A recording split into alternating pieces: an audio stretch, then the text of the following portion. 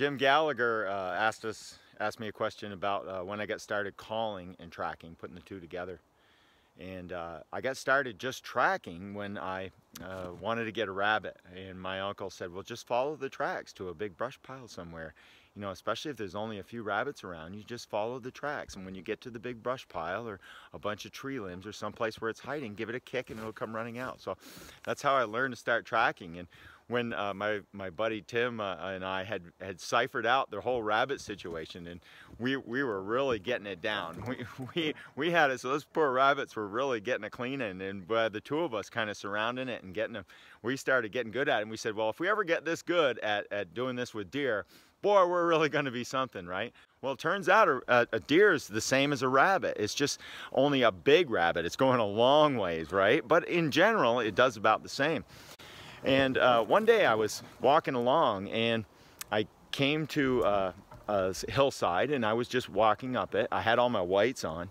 And I looked over and here comes a deer right at me. So I just stood there and I watched it and I didn't see any horns. So I just stood there and it kept coming and coming. And then I could see horns and it was a spike. He's just doing this grunt every so often. And it's so soft and so quiet. And it was all I could do to keep him busting out laughing. It was so interesting. And as he's coming along and he's working his way towards me, he stops at about 25 feet from me and he's now sniffing my tracks. So he's uh, suddenly figured out, ooh, there's somebody here. And he reacted, he kind of fluffed up a little bit and he was worried. Then he relaxed and the wind was blowing perfect right at me and he couldn't see me. And then he finished going out around me and then I waved at him at about 25 feet, right? And he, oh my God, and he jumped off, you know, it was pretty neat.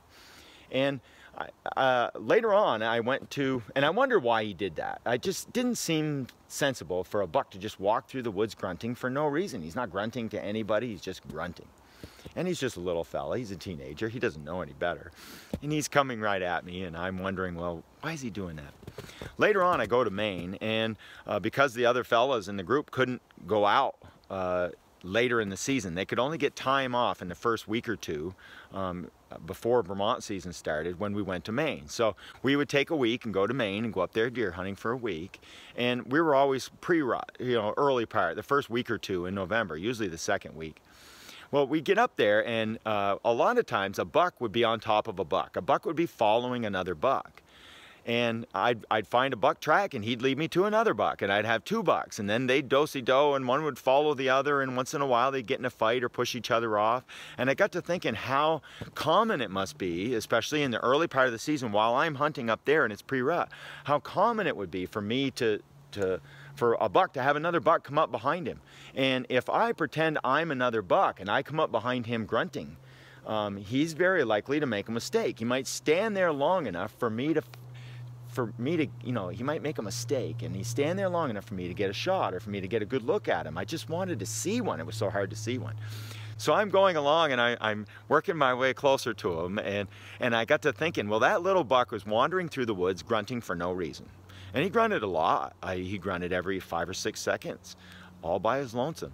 So I got to thinking, if he can do that, why don't I do that? I'll come up behind a buck, especially when he can hear me coming, and maybe he'll hold just a little bit longer and I'll get around the brush, or he'll only jump off and stop, or he'll only go a short ways and look back, or he might hesitate and just stand there and let me walk right up to him. Well, that started working. So I called it the buck game and I started walking up on deer and grunting or getting close to them and calling and then stopping for a long period of time. And if a buck were laying there and he heard grunt, grunt, grunt, grunt, grunt, grunt, and all kinds of walking and crashing, and then it went dead silent. After a while, he'd have a nervous breakdown. He's got to go see what that was. Is that another buck? Is he chasing my doe? Uh, what's going on? Where did he go? So he'll get up out of his bed and circle around on the downwind side. And next thing I know, the bucks were standing up and then walking around me. And I was close to them. And now they're moving and I'm not. And I catch them and bang. And oh, that works so good. Or I'd see them and shoot at them and jump them. And, and uh, grunt to him first and then shoot at him. And they knew there was danger. They knew that something happened and they thought I was other deer. So after I shot them, they ran right at me. I, that was the perfect thing to do. To get deer to come right to you is the, the best possible thing, especially after you pulled the trigger. It'll help you take care of the rest of it. So it was awesome. And I started doing that more and more. And uh, not too many other people were doing it. And the deer had never experienced that before. And it works so good. So from now on, that's just what I do. and it's worked so well. There's some danger dangers to it. If you're in the woods walking along and another guy's in front of you and you make all kinds of racket coming through the brush and you're rattling, you're, you're grunting, you're snort wheezing and you're calling, you could wind another hunter right up. You want to be wearing orange, right? it's almost like turkey hunting and gobbling and running around. You've got to be careful. And I want to make sure that I, I wear my orange all the time. We never go out without orange and it's real important. Um, and also too, most of the places we're hunting, we're not running into too many people. This isn't gonna be a method you wanna do where there's lots of crowds of people. Um, especially too with firearms. That's another chance where you know you want to be careful as possible and keep that in mind always. There's no reason to not wear orange. I even if there's a little bit of movement in the brush the orange will flash through there. And if you're not wearing orange and you're wearing camouflage and someone sees that movement they're gonna pick their gun up and take a look just to see what's up. I hate people pointing guns at me. I don't like that at all and I hope you guys all feel the same. So wear your hunter orange. There's no reason not to. The other thing is there's three reasons you wear hunter orange right? One, everybody can identify you as a person, so they won't shoot you.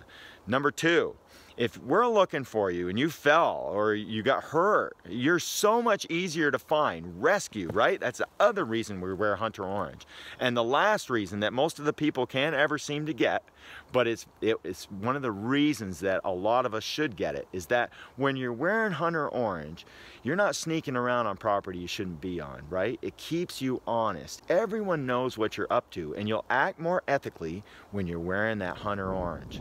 So Wear your orange. Yeah. It's good for all of us. Were there trees when you sat on that rock?